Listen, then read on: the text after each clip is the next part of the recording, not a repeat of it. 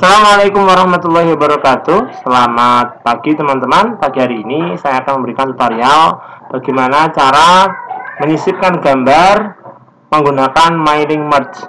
Kita ketahui kalau biasanya pada video tutorial yang biasa Itu rumit banget prosesnya.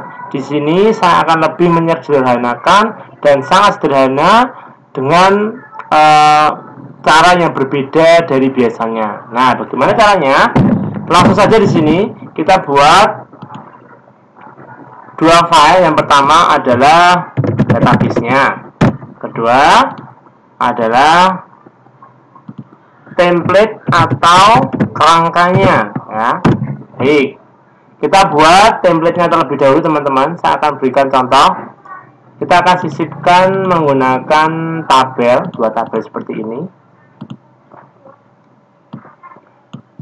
Pertama adalah nama buah. Kemudian di sini gambar buah. Oke ya. Kalau sudah kita buat database-nya di sini teman-teman. Kita buat ada dua tabel tadi ya. Yang pertama nama buah. Kemudian di sini gambar buah sekarang saya akan contohkan satu field saja namanya adalah semangka. Kemudian di sini adalah gambar buahnya yaitu gambar uh, semangkanya ya. Seperti ini gambar semangkanya kita masukkan gambarnya sama seperti biasa insert picture sederhana saja. Kemudian kita cari gambarnya semangka. Oke. Kalau sudah, sudah masuk ya. Sekarang kita save, simpan. Kita tutup saja. Di database ya. Kita buka template-nya tadi. Sekarang kita masukkan field dari mailing merge-nya. Masukkan mailing, select reception.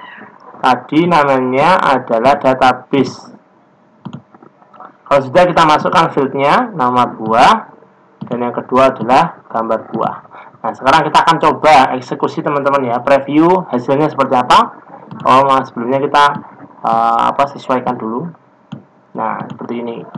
Kita preview apakah dia masuk gambarnya atau tidak. Kita lihat.